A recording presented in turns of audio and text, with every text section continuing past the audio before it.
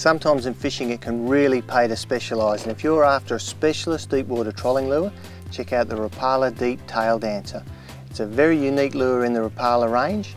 It's got this banana shaped construction but this is actually made of balsa so it's high buoyancy, you get all that responsiveness that balsa lures provide but it's also got an internal rattle chamber.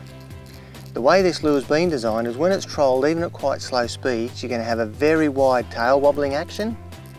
But if you increase your trolling tempo a little bit, you can do that just by checking the lure at the side of the boat, increase the tempo, this is going to have a searching action. It's going to let, make the lure snake around. That's deliberately designed into this lure's construction. It's a great way of just getting that little bit of extra out of your lure, which can be the difference between catching fish and not catching fish. Comes at a great finish. This one will dive to around about 20 feet. This is the Rapala Deep Tail Dancer.